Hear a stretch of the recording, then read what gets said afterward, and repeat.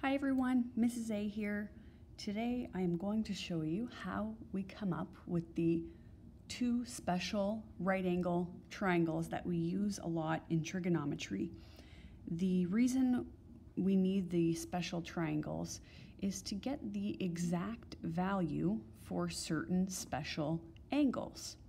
We're going to do this today in degrees and the special angles that we can get from these triangles are 30 degrees, 45 degrees, and 60 degrees.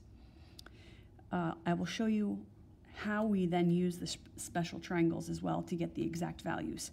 So there are two special triangles. And so I'm going to start with the, the basics here for the two of them. Let's start with that first one. We want to start, uh, for this one, we'll start with a an isosceles triangle. That means we have two equal sides and we need the right angle in it because the right angle is what allows us to use the primary trig ratios. We need the right angle for that. So starting with an isosceles triangle and a right angle allows us to determine that each of these angles must be 45 degrees. And that's because the interior angles of a triangle must add up to 180 degrees. And we have a 90 here, and a 45 and a 45 will be another 90, and that will give us 180 degrees. Okay, so that's one of the special angle values, 45 degrees. We can use this um, vertex of the triangle, or we can use this vertex of the triangle, and it actually won't matter because they both have the same values. So we want the values for the side lengths of this right angle triangle to be able to derive those uh, primary trig ratios. So what I'm going to suggest we do, because we always pick the easiest numbers possible, is to label this leg of the right angle triangle as one unit. And then if it's equivalent to this one, we're going to label this also one unit.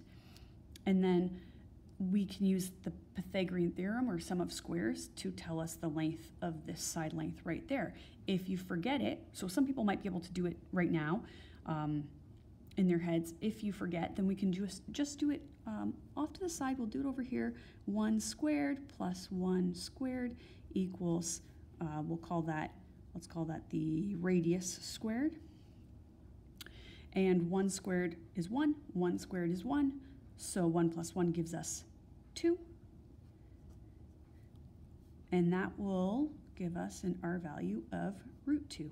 Now, don't evaluate that as a decimal. That'll give you an approximate value. And the whole purpose of the special triangles is to give us exact values. So that's going to be root 2. Okay, so now we have a right angle triangle with an angle of 45 degrees there the side lengths here are 1 and 1, and this one is root 2. We can use now all of those values to allow us to get the primary trig uh, ratio values when we have a special angle of 45 degrees. So we do this remembering that sine of an angle is opposite over hypotenuse. So if I have this angle here as the angle I'm using it using, the opposite is 1 and the hypotenuse is root 2. So the value of sine of 45 degrees is 1 over root 2. That's an exact value. Now, maybe uh, we want to rationalize that denominator because some people don't like to see uh, radicals in the denominator, so we would multiply by root 2 over root 2, so we also say this is equal to root 2 over 2. And there's our exact value. We can do it again for the next trig ratio. Let's do cosine. So cosine of 45 degrees. Let's use the angle, 45 degrees here. Cosine is adjacent over hypotenuse. Adjacent side is 1. Hypotenuse is root 2 and we get again 1 over root 2, which is the same thing as root 2 over 2. All right, that's the exact value for cosine of 45 degrees.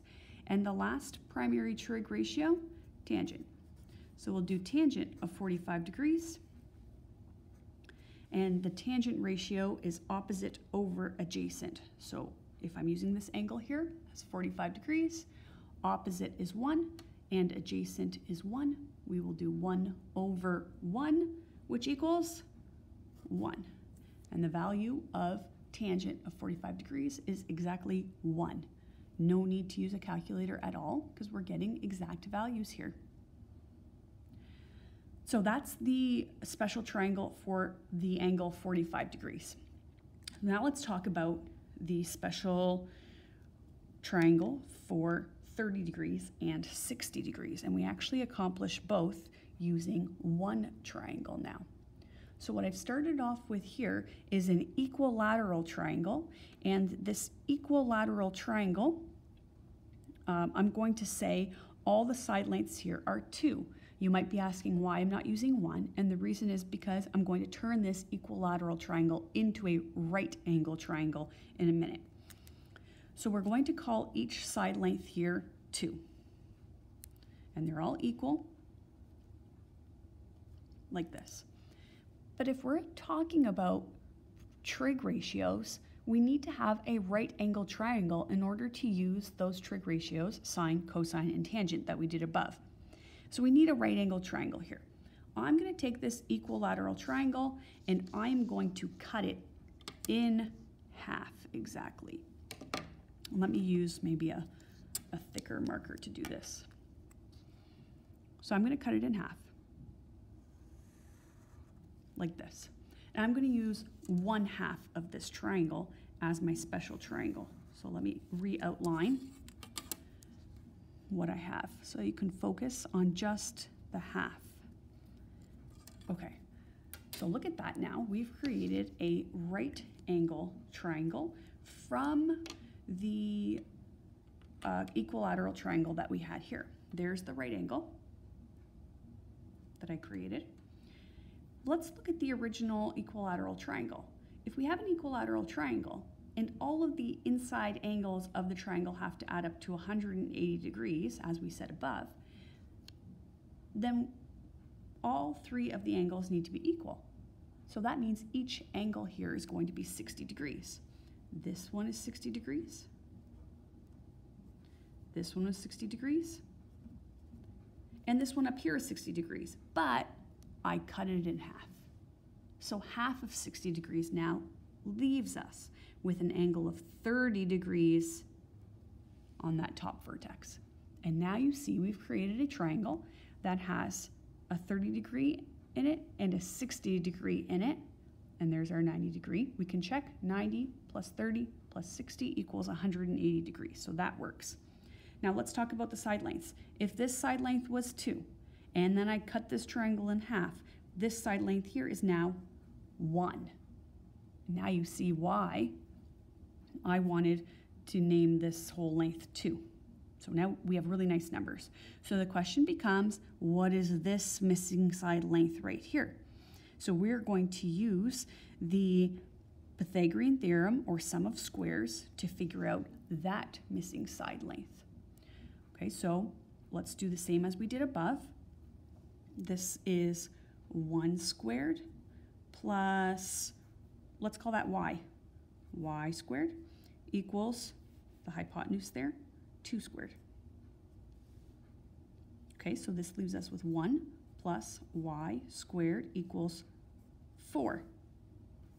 Let's solve for y. Move this over.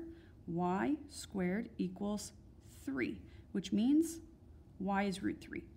So this side length right here is root 3. Now we have here this bolded triangle complete. That is our other special triangle. And this is going to allow us to get the trig ratios for 30 degrees and 60 degrees. Okay, let's write them out so we can practice. Let's do 30 degrees first. So we're focusing on this angle right here. Okay, we'll do sine of 30 degrees. Sine is opposite over hypotenuse. So opposite over hypotenuse, 1 over 2. Let's do cosine, 30 degrees. Cosine is adjacent over hypotenuse. So this is the angle we're looking at. Adjacent over hypotenuse. Root 3 over 2.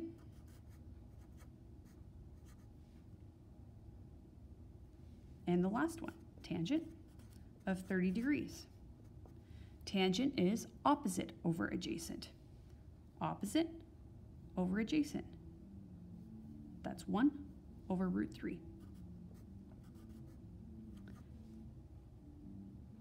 And if we want to rationalize so that we do not have a radical in the denominator, we multiply this by root 3 over root 3, and we get root 3 over 3. These are the exact values when we're using 30 degrees as our angle. Okay, let's do the same thing for our 60 degree angle. So we'll do it again, but this time we're going to use 60 degrees, this angle right here. Sine of 60 degrees equals opposite over hypotenuse. Opposite over hypotenuse. That's root 3 over 2. Let's do cosine of 60 degrees. 60 degrees is here. We're going to do adjacent over hypotenuse. Adjacent over hypotenuse. 1 over 2. And the final one, tangent of 60 degrees. Opposite over adjacent. Opposite over adjacent. Root 3 over 1, which is root 3. And again, here are our exact values for the special angles that we know. We did 30 degrees and 60 degrees from this special triangle, and we did 45 degrees from this special triangle. Thanks for watching Mrs. A Loves Math.